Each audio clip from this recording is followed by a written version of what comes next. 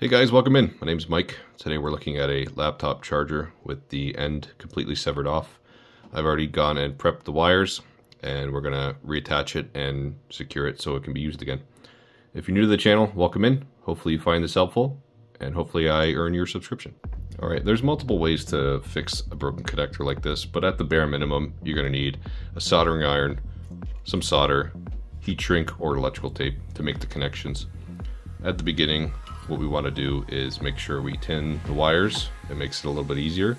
And then we're gonna put heat shrink over. So follow along with me. If you have any questions, just ask in the comments and I'll be happy to help you.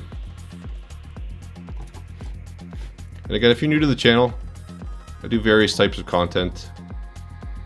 It varies from working on old electronics to testing of gear and uh, a lot more in the future. I'm just uh, showcasing as much as I can.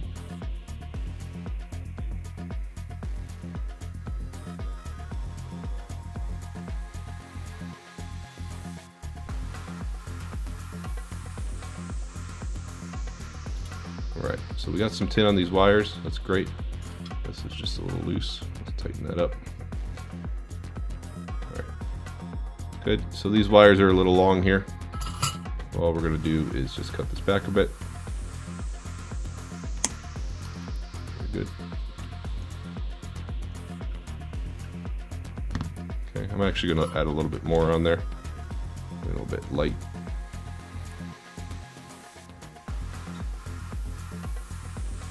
And it's best if you have a way to extract this solder smoke. Right now I don't have my solder extractor on. Probably should, but that's okay. It's just a little bit of smoke. Not gonna hurt you. Okay, so these wires are now tinned. So we're gonna take a little bit of heat shrink here. And I wanna do this afterwards because the heat shrink can actually shrink as you're putting the tin on there. And I'm not sure if I'm going to be able to get a good coverage here because there's not a lot of wire. So what I want to do, I think, is cut this down just a little bit. And then we're going to try to attach it as quickly as possible because the more heat we put into the wire, the higher chance that there, is for the, the shrink to actually shrink on you. So line that up there. It does help to have these helping hands. If you don't have them, ask a friend, ask your mom. They'll be able to help. Yeah, it's as far back as I can go with this wire, unfortunately. I could strip it back a bit more, which would prevent this wire from shrinking, which I may do. Let's just see what we got to work with here. We don't have a lot to work with. But I really want to preserve it um, as much as the original shell as possible. So let's uh, just see what the length is here and I can cut it back a little bit more. I will be wrapping electrical tape around this anyways but this is just to keep it somewhat protected. Okay, we're going to attempt this. Let's see if we get a good solder joint here.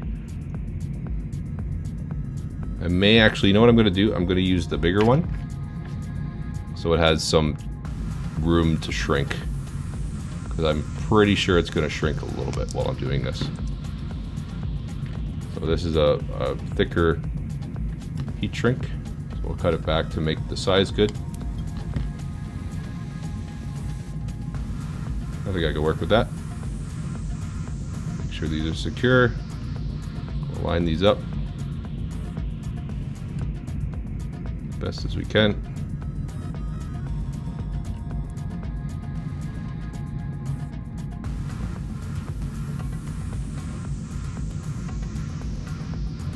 Okay, that's good. I'm going to get enough solder on the tip here.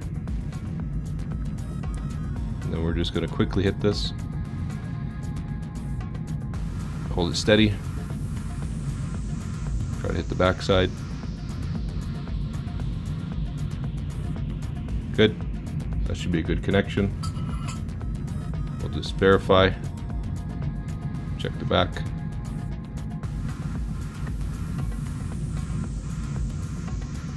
Yeah, looks to be on there. We could probably hit it just a little bit more. No, that actually looks okay. So let's put the shrink over there. And we'll do it the low-tech way. Just get a lighter, shrink this. I could use my hot air station, but that works just fine. So I'll do the same thing for the other side.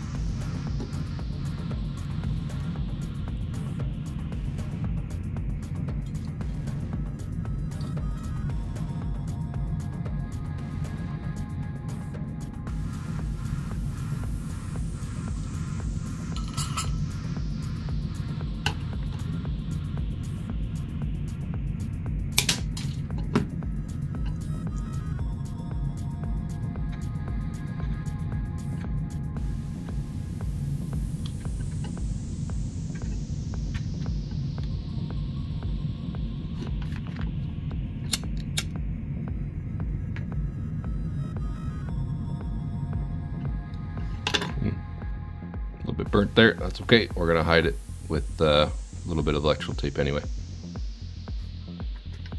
We'll grab some tape. Wrap it around here.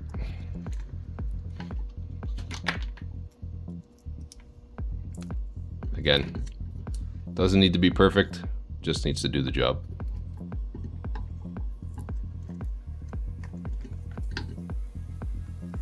Make sure those two wires that you solder and put together, they're not connecting because that would cause a short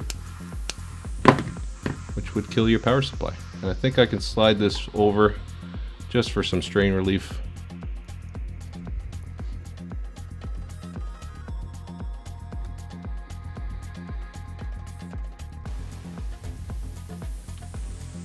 Okay, not perfect. I'll probably wrap some more tape around that just to secure it and then we'll give her a test.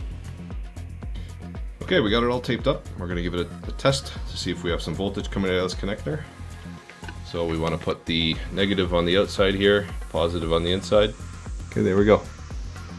19.59 volts. It's fixed.